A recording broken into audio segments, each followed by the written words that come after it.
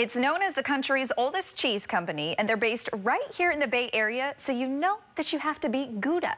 Joining us now from the Marin French Cheese Company is Bonnie Kaufman. Bonnie, thanks so much for joining us here on Live in the Bay. Hi, Olivia. Thank you for having me. Yes, now it's pretty cool to know that this is the oldest cheese company here in the entire country, In correct? the entire country. Wow, so how did it all get started? Well, we've been operating in our historic creamery on the border of Marin and Sonoma counties since 1865. Mm -hmm. And in 1865, a family of Illinois cheesemakers moved to California, kind of following the gold rush migration, um, and discovered, you know, Northern California is perfect dairy land, and uh, they purchased a 700 acre ranch and we're still there today. And then here, fast forward, here we are so many years later. Yeah, over 155 years later. That's a long time. Yeah.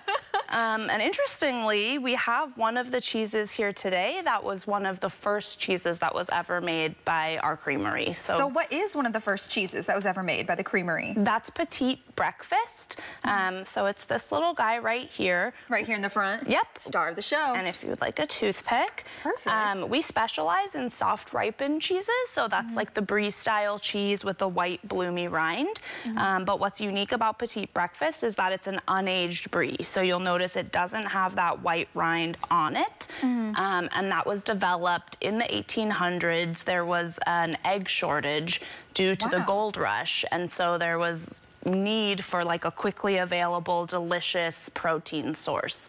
Um, And so our founder decided to go to market with the cheese before it had ripened, and little did he know that it would still be one of our best sellers over 150 years later. That's so amazing. I love that backstory too, all these little facts about it. Now, when it comes to the process of coming out with these different cheeses and figuring out each year what people really love, how does that work? Yeah, we really try to strike the right balance between like classical French technique and what we call like our California innovative pioneering spirit. So all of our soft ripened cheeses use recipes that are based on traditional French cheese making techniques, but then our coastal California terroir and some unique ingredients make them a little bit more innovative and special. So for instance, we have our triple creme brie right here, which is like a brie lover's dream, exactly what you'd expect it to be. But then we also have our petite ash, mm -hmm. which mm-hmm. is an ash ripened brie. So you get that dark kind of ash ash layer right under the rind mm -hmm. for visual appeal. And it also gives it like a bit of an earthier flavor. Um, and then one of my favorites is this petite jalapeno. So that's Ooh. another triple creme brie, but of course we're Californians. We like things a little interesting and spicy. So we've added some pickled red and green jalapenos in there. Oh my gosh. So all of the good stuff. And I love how you added different foods in there that are perfect for pairings.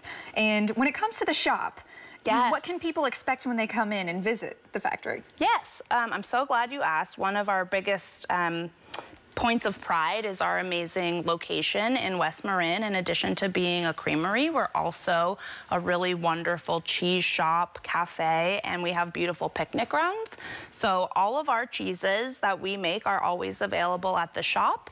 One in particular I love to highlight is Golden Gate. Mm. This is a washed rind triple creme, so it's going to be a little bit more pungent, and that can be the hardest of our cheeses to find out in the marketplace. So I always recommend people come straight to the source, come to Marin French Cheese Company, get yourself some Golden Gate, anything else that you would want to make a picnic to enjoy by the pond or to bring with you to wine country, we have available there and it's it's stunning. I like to tell people, you know, visit a California yeah. culinary landmark. Beautiful. Well, before I let you go, I feel like I have to try at least you one of these taste cheeses. some cheeses. So how about we try the star of the show? This is, like you said, one of your best sellers, right? Petite breakfast, yeah. So you All can right. grab that. And what's unique about this compared to kind of your more traditional brie, and you'll taste it. A mm-hmm. little bit springier, a little bit more mm. tangy and mm-hmm. toothsome. Um, and we like to say, even though it's called petite breakfast, it's good. Oh my gosh, it's so good. and it's good any time of day. Mm -hmm. and I like like how you said it's it's different from a traditional brie. The texture is slightly different. The taste is amazing. It's that saltiness, the creaminess. You get it all in one bite. This was so delicious. Bonnie, thank you so much for joining us here of on Live in the Bay. Thank you so much for having me. Yes, of course.